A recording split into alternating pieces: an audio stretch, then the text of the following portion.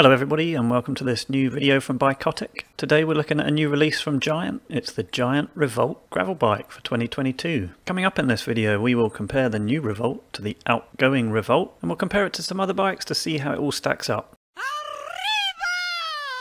Right, so here we go, the Giant Revolt for 2022. This here is a beauty shot of the new Revolt Advance Pro Zero, pictured here on this rather lovely gravel road. So the geometry's had some tweaks that we'll have a look at in a second. You've got six water bottle mounts, so you can stick things all over it. A neat feature is that you can actually use a dropper post on it, and if you're a die-hard Bikotic fan, you'll remember when I reviewed the Giant TCX, I showed this feature, and it looks a little bit different on the Revolt, but basically if you have this little adapter in, you can have the D-shaped D-Fuse seat post but if you take that out you have a much more conventional 30.9 millimeter round seat tube put a dropper into. Another pretty cool feature is the flip chip on the back where you can actually change the wheelbase of the bike from a short position to a long position and if you have it in the long position you can get some well chunky 53 millimeter tires on it. Pretty cool. Oh and it's lighter than it was before as well. So if you watch one of my previous videos I introduced something I'm calling the hummingbird Albatross Spectrum and it's just a way to try and take the geometry data that we get from the manufacturers and then plot the bike on a spectrum between flighty responsive humminbird and stable unruffled albatross. And with that in mind, I've put all the data into a spreadsheet and basically all that it does is it ranges each one of these measurements averages them together and comes up with a score for each bike. As you can see here I've put in quite a few giants to see how they all stack up and basically I'm just over 5'10", 32 inch inside leg and these are the frame sizes that the manufacturers suggested for each of these bikes. It's quite interesting to note the differences in the virtual top tube length and as is the fashion at the moment, the new Revolt has a longer top tube than the old one. The wheelbase falls either side of the old one because you can have a long and a short version, slightly longer reach, slightly taller stack, same chainstays in the short version, obviously longer in the longer version, slightly steeper head angle, and the bottom bracket has been dropped quite a lot actually. So if we pop those in order, create a little graph, this is what it comes up with. And again, as I said last time, you've got to take this slightly with a pinch of salt, but what it allows us to do is organize the bikes into some kind of order. And clearly the Merida Reacto and the Giant TCR are more flighty, responsive, nippy than the Specialized Diverge. And according to this formula, the Giant Revolt, as you probably would have imagined, falls towards this end of the spectrum as well. The one questionable thing is Giant are saying the new Revolt is more responsive than the old one, except according to this formula, these are slightly further to the right.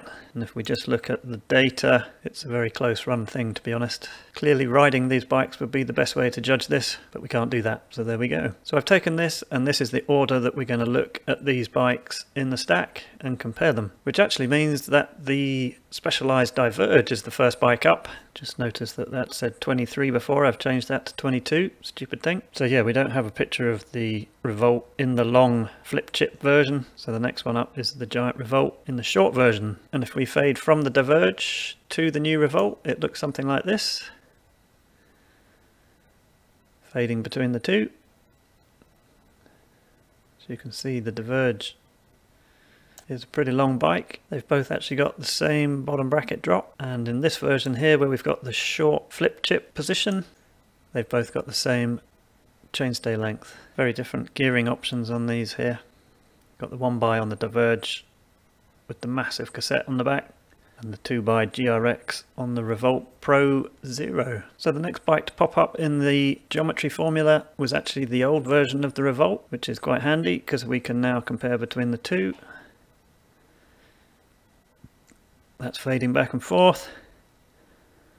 And though not a massive change, we definitely do have some changes. It's all a lot tidier at the front. We've certainly got a shorter stem, sitting slightly further back. So I guess the shorter stem keeps the reach about right. Seat stays seem a little bit lower. And clearly the bottom bracket is a good bit lower. So I do have some pictures of a couple of other versions of the Revolt. This is the Advance Pro Zero, £5,000. But I also have here the Advance One, which looks like this. It's got a 1 by rival group set against the 2 by GRX. Pro version has the CXR1 carbon wheels, whereas the advanced one has the PX2 wheel set. Much fatter tyres on the advanced one. Quite like that green colour, but also have note the advanced one comes with a dropper seat post, which I think is pretty cool. And we're looking at 3 gram for this bike. Then the other one I have a picture of is the advanced 2. This is fading between the advanced 1 and the advanced 2. Coming in this sparkly blue colour, lovely jubbly. And that's got the 2 by Shimano GRX RX600 group set on it with an FSA crankset, as opposed to the rival ETAP on the advanced one. And again, no dropper post on this one. Okay, so if we head back over to the geometry formula chart, we can see the next bike in the list is going to be the Trek Checkpoint. And fading from the Revolt to the Checkpoint looks something like that. Super long bike is the Checkpoint, even though the suggested frame is the 56. The 56 has a virtual top tube of 584 mil in comparison to the short flip chip version of the Revolt 560. Also got the interesting asymmetric chainstays on the checkpoint. That's the Revolt there, and the checkpoint has got the IsoSpeed decoupler there. The Revolt presumably is relying on its D-Fuse seat post. Okay, mid-pack, Canyon Grizzle. And if we fade through to the Grizzle, how does that look? Well, it looks a bit like that. Got the split carbon seat post on the Grizzle, and even though the Canyon website suggests a size small for me, it's got a pretty long reach on it, the Grizzle, and a pretty low stack height as well. Okay, then next along we've got the Specialized Crux, which we did a video on the other day. Pretty new release for next year. And if we fade through to the Crux, that looks something like that. Hard not to think about the Aethos when we fade through to the Crux. Very Aethosy looking. I have to say for me, I like the look of the Crux. It looks very clean, but we don't have any of the extra bottle mounts on it. So it's probably more of a race machine, you could say. Okay, next along, Giant TCX. And this is going to be an interesting one to look at because obviously this is the cyclocross offering from Giant. This is fading between the two. Pretty big difference up here in regards to the stem, look at that little squidgy one there for the Revolt and a more stretched out one for the TCX. But clearly the Revolt is sort of longer and more stretched out and has much lower bottom bracket. Look at that, major difference. The TCX has much higher seat stays. Quite a big difference there. But if you do flip that chip round, then the Revolt will have a slightly longer chainstay. So it's pretty cool that flip chippy thing. Be very interesting to give that a go. Okay, so next, the Giant Defy. Is the one I've been interested to look at. I think it would be quite a valid question that people would be asking, should I get the Giant Revolt or would I be better off with a more sort of endurance bike like the Defy? So here we go, fade through to the Defy. And just fading back and forth, we can clearly see though from the same stable, they are very different. The Revolt is obviously longer and slightly higher up at the front.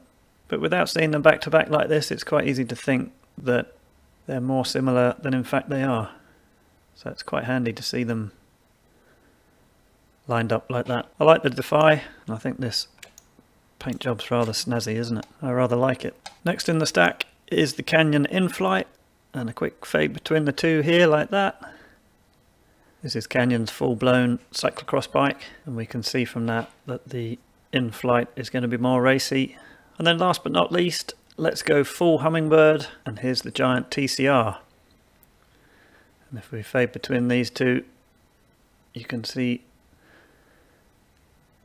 full-blown road race bike, gravel bike, and that's a really good example of the different style of bike and I couldn't resist putting these two bikes on a downhill slope on some super gnarly grav and doing a fade between them and you can see how the gravel bike is going to inspire a lot more confidence as you go down this super gravelly hill.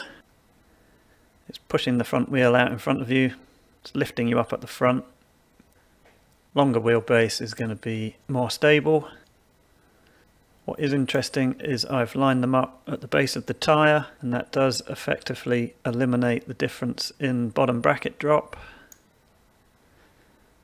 pretty much which until I'd done this I hadn't really thought of that. So there we go, that's quite a cool way of looking at the two side by side. In this instance I'd rather be on the Revolt, that's for sure. Now just before I finish this video, something I wanted to touch on very quickly is that you probably noticed throughout the video that we have quite a varied selection of gear options on the different bikes and the different versions of the Revolt and it's definitely worthwhile getting your head round the gearing before you go and buy one of these bikes just to make sure that you get exactly what it is you need. And in this graph here, it's giving you an idea of what you get with these different group sets at each end of the range. So in blue, you've got the hardest gear, and in red, you've got the easiest gear. So clearly looking at this, the easiest geared bike here is actually a control that I've put in, which is my mountain bike, which is a Vitus Mythique VRS 29er. It's a one by, and it's got a massive 51 cassette on the back and a tiny little 30 on the front. So you can get this into a super easy gear to get up steep technical climbs. The bike here with the least easy, easy gear is the TCR, the full-blown race bike, but this does have the hardest hard gear, as you would expect. This bike is not expected to go off-road at all. So if I was going to be tempted to buy a gravel bike, which I'll be honest I'm not right now because I have my mountain bike and I have my road bike, Personally, I'd be drawn to the Advance One with its one by drivetrain. I definitely prefer the idea of one by on a gravel bike. And looking at the range of this bike, I'd say that was pretty good. As you can see down here on the graph, this is it here, and that stacks up pretty well. It's not got quite the same easy gear as the Advance Pro Zero, but that is a 2x, and the hardest gear is not a million miles off. So I'd say that was a pretty good all-round package there for the, uh, the 1x gearing. And not only that, that comes with the dropper post, which I think is pretty cool. And not even crazy money, coming in at 2,999. So for me, like I say, if I was going to get one of these, I think this would be a pretty cool bike. So there we go. Giant, if you're listening, send me one over. I'd like to have a go on it. Thanks very much. And if you like this video, give it a thumbs up. And if you haven't already, subscribe to the channel and I'll see you next time.